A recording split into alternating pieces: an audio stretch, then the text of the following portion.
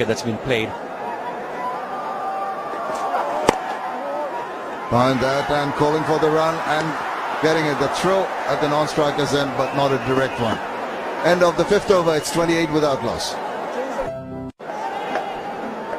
You're using all his experience. Uh, yeah, that was uh, the the last ball or the last over. Look at that. That that looked deliberate, isn't it? I think he just had a look at the the batsman in terms of where he was running. Look at that. And uh, you know that that's not the the right way. I think he he immediately knew that. Roy Sharma is, is telling saw about him in Test match was uh, saying that Lord's Test match against England uh, in 2007. Asha, he had to completely play a different game, different role altogether. Oh, see, The strong man Dhoni, I, I think I know who will come off the worst for it, but I think I think the young bowler's got to be careful here because it's the second time he's come in the way of the batsman.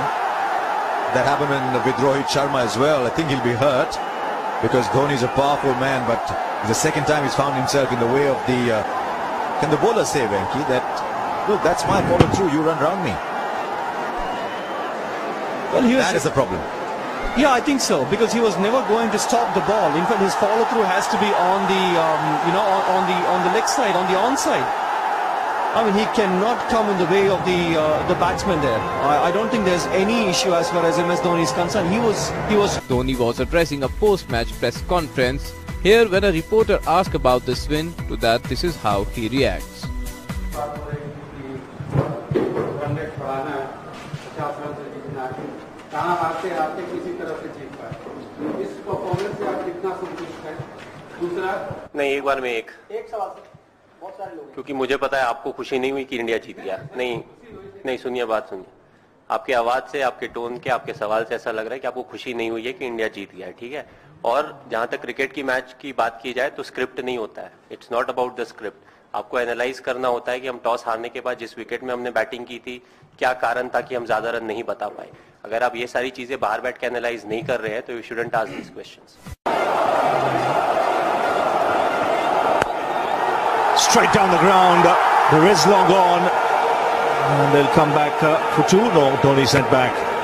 And rightly so. He was not seeing the ball. They're just going to have a look at this. It's a direct hit.